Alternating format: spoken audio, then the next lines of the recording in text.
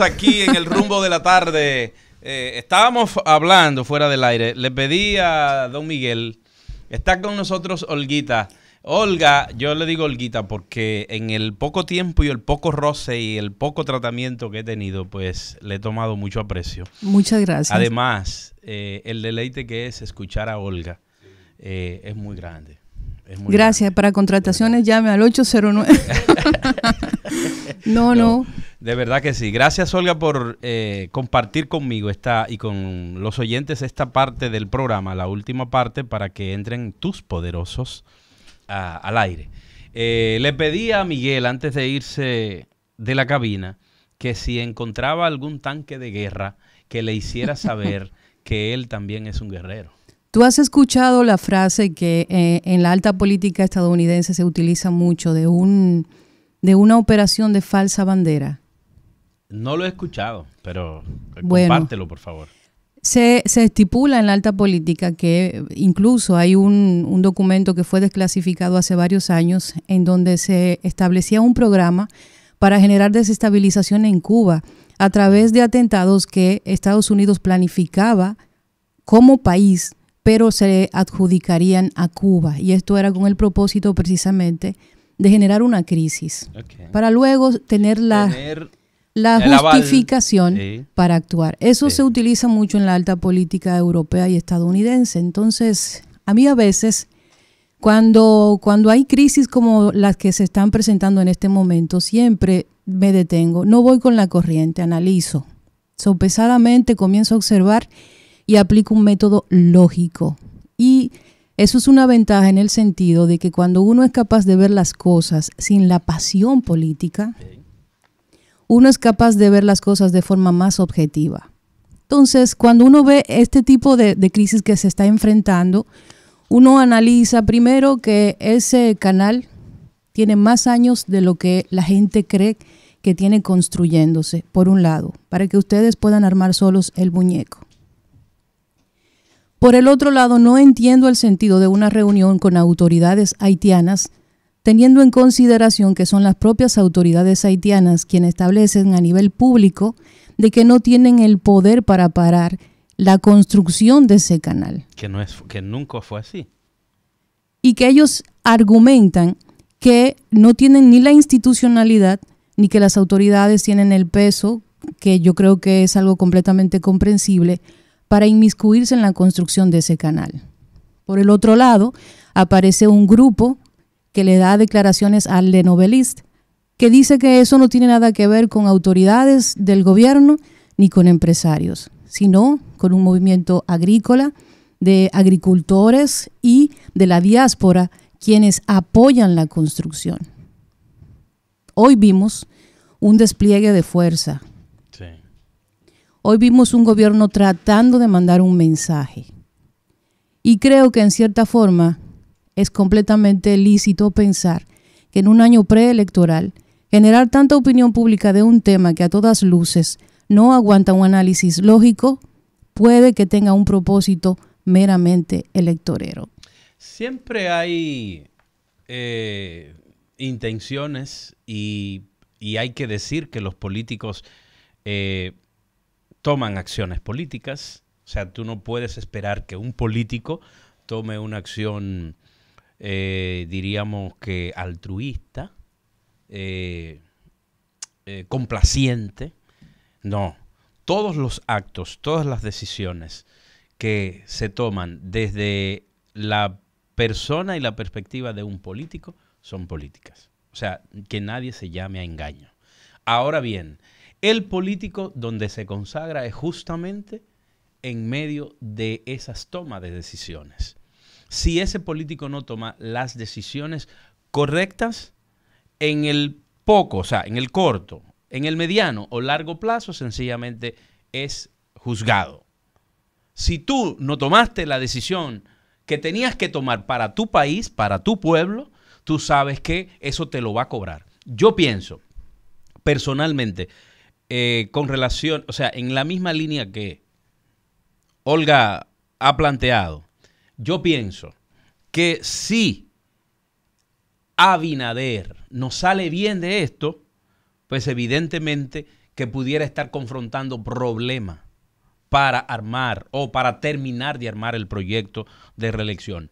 Yo creo que por el contrario, si sale bien de esto, si los resultados de estas decisiones son eh, correctas o son buenas o son favorables para la sociedad dominicana, que esto va a redundar en beneficio del futuro corto y mediano de Luis Abinader y del partido que está gobernando, que es el PRM. Yo quería puntualizar, eh, antes de irnos a la pausa, pero no me dio el tiempo, dos cosas, Olga. Primero, primero, que esa comisión que vino aquí a hablar, no vino a negociar, vino a escuchar a las autoridades dominicanas, en este caso a la Cancillería Dominicana. ¿Y cuántas personas pudieron ser integradas en esa comisión? Porque no tenía tampoco ninguna potestad, no tenía ningún poder de decisión y tampoco trajo propuesta. Al punto de que varias horas de reuniones no dieron resultados que se esperaban. De manera que eso hay que dejarlo claro. Esas personas no vinieron a negociar, esas personas vinieron a escuchar. Y probablemente, eh, viendo desde el prisma político, para que no se les viera, para que no se les señalara como gentes intransigentes, bueno, aceptaron venir al diálogo, pero no iban a resolver nada. Eso por un lado.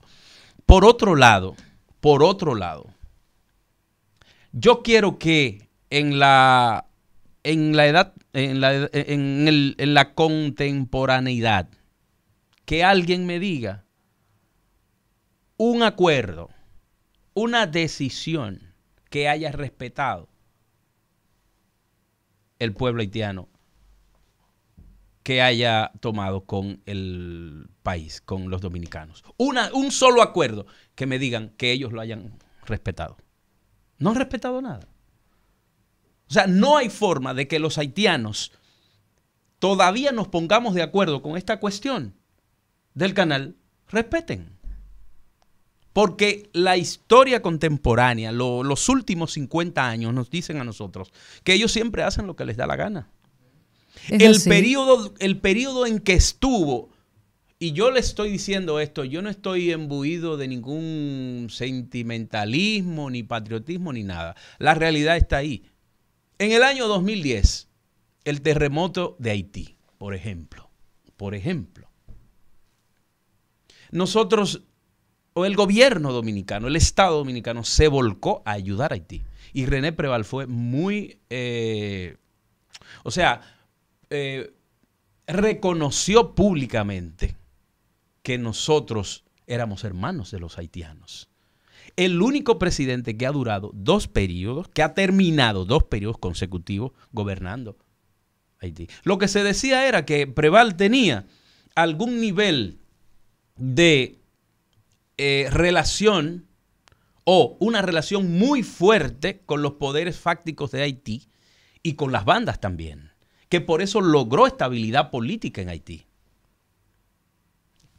Ese mismo René Preval incluso se opuso en muchas ocasiones a acciones delictivas de una parte de la sociedad intelectual de Haití hacia la República Dominicana. Yo estoy de acuerdo. Los enfrentó. Yo estoy de acuerdo con tu planteamiento, pero yo creo también, yo, sé que es imposible negar la crisis en Haití. Vamos a separar las cosas. La crisis en, en Haití es un hecho, existe y es completamente válido creer que existe un, peligro inminente en que si esa crisis se recrudece o aumenta un poquito, nosotros vamos a ser los primeros afectados. Claro. Entonces yo entiendo esa parte. Entiendo que el presidente debía tomar una decisión eh, pública fuerte, fuerte, porque yo también considero que dependiendo de cómo el presidente manejara esta situación, iba a ser una escalada de la parte haitiana. Iban a aprovechar la debilidad en, un escenario hipotético para eh, engrandecerse. Perdóname, Olga. ¿Tú te imaginas, amigos, amigas, ustedes se imaginan lo que hubiera sucedido si Luis Abinader no toma la decisión de actuar? Ustedes se imaginan pero, olvidémonos del tema político. olvidémonos de, del costo político que eso le podría eh, cobrar a Luis Abinader. Que Luis Abinader no decidiera, por, en principio, advertir, que fue una advertencia que le lanzó, para ver si ellos, de alguna manera, o sea, para ver si se podían persuadir y que ellos entendieran, miren, ustedes no pueden, porque no es que no tomen agua, no es que no tengan acceso al agua, eso es un derecho que tienen, pero hacerlo de esa manera. Y debo decir que también fue un riesgo a nivel económico la decisión del presidente. Yo sé que fue algo. No, que lo estamos cobrando. Claro que sí. eso nos está pasando factura. El presidente incluso ha, le ha dicho, les ha comunicado a los empresarios, tranquilos, Tranquilos que yo sé lo que eso significa para ustedes. A los productores de huevos, los huevos hay que comérselos. Los huevos hay que comérselos. Cuando la, gallina puso el huevo, a ese huevo tú no le puedes dar más de tres días. El plátano, desde que tú lo cortaste, empieza a marearse y hay que comérselo. El aguacate por igual, todos los rubros, el presidente lo sabe. La varilla, el cemento que se lleva para allá, eso puede esperar. Pero todo lo que es comestible, todo lo que es biodegradable, fácil que se pierde si no se compra. Eh, el Estado, perdón, el gobierno tiene forma. Esos huevos, esos plátanos, eso, ese arenque, todo eso, eso se puede consumir. Ese no es el problema, ¿eh? eh sí, yo creo que es un problema. Yo creo que es, un problema. Porque el gobierno tiene capacidad, hasta que se resuelva esa situación, de ir mitigando, no pérdidas, esa falta de ganancia a los empresarios, porque ellos lo que están dejando es de ganar, están dejando de ganar. Sí, pero es una economía básica en el caso, en el sentido de que si tú como productor inviertes para producir X cantidad y tienes un mercado fijo, seguro, y de pronto ese mercado desaparece, y he de decir que el mercado haitiano es un mercado sumamente importante para la República Dominicana. No, no, quizás, eh, quizás para ese mercado es el primero. Realmente la única, el único caso con quien tenemos intercambio comercial donde la balanza es positiva a favor de República Dominicana. Y estamos hablando de que estos productores ya ayer el precio del huevo había caído un 40%. Estamos hablando de que eso va a generar un superávit, ha generado un superávit y por tanto un desplome de los precios. Entonces, esos productores que han tenido que vender más barato con una inversión que ya hicieron fija, van a perder dinero. Pero el presidente le ha prometido eso. Bueno, las promesas son importantes, pero yo creo que el presidente tiene muchas, muchos frentes abiertos y él tiene que comenzar a delegar en sus funcionarios que como la palabra indica deben funcionar y no esperar como pasa con mucha frecuencia, no solo en este gobierno, en todos los gobiernos dominicanos, aunque en este advierto que tiene un poquito más ese problema de que tiende a reaccionar y no a planificar. Entonces, si sabemos que esa situación se está dando, no esperar que le explote la situación con alguna manifestación pública de, los productores de huevo y ser proactivos y que agricultura se acerque a los productores y comience a ubicar mercados o algún tipo de programa, qué sé yo, canalizarlos a través de, este programa del campo al colmado, de alguna forma. Inespre, Inespre. De alguna forma. Los mismos comedores económicos, la comida que vende puede ser sencillamente eh, preparada con esos productos. Pero, pero hay que decir, Olga, también, es importante decir que eh, esos productos, ojo, eh, la decisión está a partir de mañana, a las 6 de la mañana. O sea que los días que han pasado no es que les ha afectado a ellos, porque Igual, igual, Tú sabes, igual ha estado, igual ha estado el trasiego de mercancía. Pero no, no, se ha detenido hasta mañana, hasta mañana a las 6 de la mañana, eso no se, ha había, se había anunciado, por ejemplo, solamente se estaba, estaba abierto por Dajabón, por otras partes de la frontera se había cerrado. Por el, por, el, por el Carrizal estaba sencillamente cerrado. Y sabes. Y en el caso, pero en el caso de Elías Piña, perdón, en el caso de Jimaní, sí estaba pasando Hoy ha estado pasando, por lo menos hasta las 6 de la tarde de hoy, que es que cerramos eh, fronteras con Haití, eh, eh, ha, estado pasando. Pero si te fijas en las declaraciones del propio sector, del propio sector de productores de huevo, ya con el hecho de que se haya devaluado, de que haya caído el precio, te indica a ti que hay un superávit. O sea, el hecho de que un solo día, dos días, un productor deje de colocar mercancía y como tú mismo estableces, en tres días ese huevo no sirve,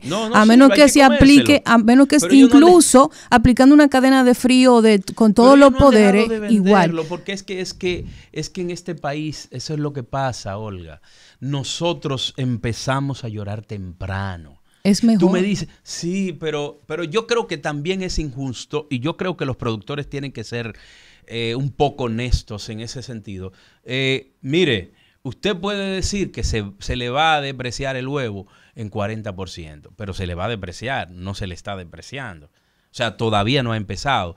El gobierno sí tiene el compromiso y debe pasar de la promesa al hecho, a la acción de que por, ejemplo, hoy, hoy tiene que haber una comisión, como dice Olga, de funcionarios coordinando con los productores. Pero tiene que salir el presidente. Ahorita, si no sale el presidente, dice no, que hay, que hacer. en Palacio. Ahora mismo hay una reunión en Palacio.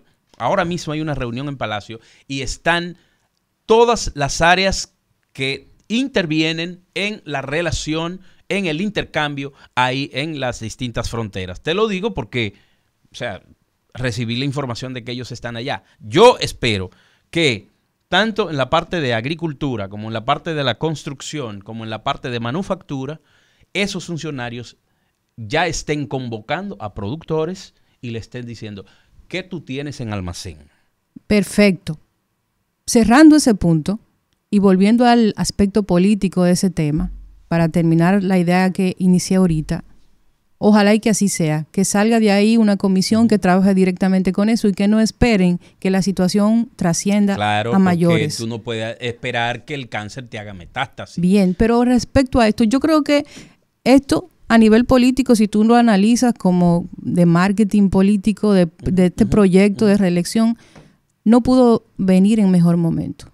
Primero porque inevitablemente el tema haitiano cataliza el nacionalismo extremo de redes sociales y sobre todo la opinión pública a nivel general. No hay nada que unifique más la opinión del dominicano independientemente de sus colores partidarios. O de cualquier ciudadanía, no solamente del dominicano. Que, el, haitiano. No, y en el caso dominicano en particular el haitiano. Aunque, aunque yo siempre he dicho que aquí hay un tema de doble moral con ese, con ese asunto, pero eso es otra historia. Yo creo que el manejo de esta crisis tiene un impacto muy importante en subirle algunos puntitos al presidente. Yo creo que, amén de la crisis que existe y del manejo que se le dio, que realmente creo que fue el más adecuado, aunque, insisto, hay un análisis lógico que no soporta la situación, pero era lo que él tenía que hacer por lo que establecía. Si no lo hacía... ahí no había alternativa. No, si no lo hacía iba a ser juzgado por todo el mundo. Perfecto. No, y no termina fácilmente el gobierno. No, pero esto también aparece en un momento muy particular. Hace apenas dos días se liberaron varias auditorías de varias instituciones del Estado en donde nuevamente, como en el primer caso, que quedó simplemente así en disculpas públicas, notas de prensa y relaciones públicas, varias instituciones del Estado salen señaladas con irregularidades de administración y ya comenzaron pues las, las notas de prensa de cada uno de esos, de esos de esas instituciones pues a publicarse y decir que han sido subsanadas y que ya se están trabajando en las anomalías. Y estamos hablando estamos hablando de auditorías que sin duda exponen una situación completamente irregular en varias instituciones. a ese tema hay que caerle hay que caerle. Entonces yo me niego a pensar, yo me niego a pensar que ante una situación como esa, que ya es el segundo caso, muy bien, aplaudamos. El presidente autoriza que se publiquen esas auditorías, pero ¿cuáles son las consecuencias de esas auditorías? Sobre todo en instituciones que son reincidentes. En el, caso de que haya anomalías, pues sencillamente eh, tiene que haber una sanción. Claro, claro. Lo, menos, lo menos que ahí pudiera suceder es que, en principio, si hay anomalías, que se reconozca. En principio. Lo otro, pues, una sanción directa, efectiva y, y rápida. Que apartar el funcionario o la funcionaria del cargo. Y luego, pues, establecer responsabilidades y que cada quien pague por lo que hizo. Porque tampoco el presidente puede estar cargando con lo que con los platos rotos que rompió la otra persona. Bueno, pero este es su, ese es su gabinete de gobierno, claro que sí. Pero ¿Y a quién le va a caer la cuava cuando pase algo en relación a eso? Lo que te quiero, no, evidentemente los logros se le pegan a él, los fracasos también se le pegan a él. Pero en eso tú tienes razón. O sea, tiene que haber un sistema de consecuencias. Y, y aquello de que si se tapó un tema por otro, no hay forma de taparlo. Yo creo que sí. No hay forma de taparlo porque, óyeme, para, para que eso suceda, tiene que ser que todo el mundo esté confabulado con esa iniciativa. y no es así. Por ejemplo, por ejemplo eh, eh, este grupo de emisoras, o sea, tiene una pluralidad tremenda. Así y eso no se va a callar. Y eso se ha seguido diciendo y se va a seguir diciendo. Y también se va a seguir exigiendo que haya consecuencias para aquellos que lo han hecho mal. tú eres un, tú eres un viejo lobo de los medios de comunicación y tú sabes lo que es el ciclo de la información. Ahora la prioridad Ahora la prioridad en la noticia es el tema haitiano. Todo lo que esté sucediendo, aparte de eso, va subrepticiamente pasando de moda hasta que se acalla. ¿Tú te acuerdas del caso de los 64 niños que fallecieron en, la, en, en el hospital? Que dijeron que en dos meses iban a poner un informe. ¿Dónde está el informe? ¿Tú te recuerdas el caso de, San Cristóbal, que hoy cumple un mes y que todavía no se sabe lo que pasó y que se ha mencionado a una persona del ayuntamiento de San Cristóbal que está vinculado con el gobierno y hay dos personas que fueron apresadas los, los, los dueños de esa empresa y ese tema se ha quedado así? 38 personas muertas sin antecedentes en República Dominicana, una situación como esa. Tiene un mes y todavía, todavía no sabemos qué sucedió. y te puedo seguir mencionando casos que aquí tienen un pico de atención, luego viene otro y simplemente los mantiene eh, al otro lado. Entonces, aquí es muy fácil desplazar una información con otra. Eso, y, eso, eso sucede, eso sucede. Un tema tumba otro. Eso es así. Y, y, ese mismo caso de San Cristóbal que nos dolió a todos, porque eso no, le sucedió eh, ni a un oficialista ni a un opositor, le sucedió a ciudadanos que nada tienen que ver con el ejercicio político ni el ejercicio de las funciones de poder. Eh, ese informe, ese informe tiene que arrojar responsabilidades ciertas. Esas personas que fueron citadas, ahora que tú los mencionas, las dos personas, las tres personas que fueron citadas, las tres tienen medidas de coerción. Pagaron, pagaron una, una... es que tienen medidas de coerción impuesta. No es solamente que pagaron una, una multa, una, una fianza. una fianza. No, no es solamente eso. Ese proceso está en marcha. Ese proceso está vigente. ¿Por qué? Porque esa gente, primero, eh, aparte del grillete y aparte de la presentación y aparte de la, del impedimento de salida, están ahí dentro del proceso. Están ahí dentro del proceso. Y tendrán que ser citados cuantas veces sea necesario. ¿Y tú crees que están todos los ellos son culpables, pero tampoco puedo decir que son inocentes. ¿Tú crees que están todos los que deben estar involucrados en el caso? No, yo creo que las investigaciones no han terminado. Eso es lo que yo creo. ¿Y cuándo veremos un informe? En donde 38... Bueno, el informe, pero el informe fue eh, ofrecido. Ese informe preliminar... Que no, que no haya... Que tampoco aguanta la lógica, que fue un informe preliminar realizado de manera eh, eh, rápida, veloz, simplemente por presión mediática, porque en ese momento la información tenía un pico de interés y había que decir algo. Pero ahora estamos a un mes y en frío todavía nadie sabe lo que pasó. Además del hecho de las evidentes faltas de protección protocolo para el levantamiento en ese sentido que va a ser muy difícil que se pueda establecer qué sucedió, porque eso simplemente se recogió con maquinaria pesada y eso se quedó así. Sí, eso, eh, eh, la, la justicia, la Procuraduría General de la República tiene una gran responsabilidad. Lamentablemente hemos llegado, Olga, al final del espacio. Tan bueno que estaba esto. ¿eh? Sí, pero yo quiero pensar, yo quiero asumir y espero que así sea, que las autoridades del Ministerio Público puedan dar fiel cumplimiento a esa investigación y que los responsables de este hecho puedan pagar por ello.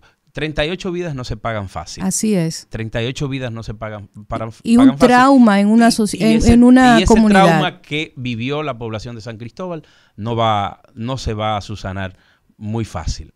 lo recordarán para toda la vida. Gracias, Así Olguita. No, muchas gracias a ustedes por recibirme aquí en, nuestra casa. Siempre. Ojalá tú puedas llegar tan temprano como llegaste hoy para que forme en esa parte. Después nos jalamos los cabellos, Valentín y yo. Seguro, seguro. Señores, gracias por estar con nosotros. Llegan los poderosos con el rumbo de la tarde. No se muevan.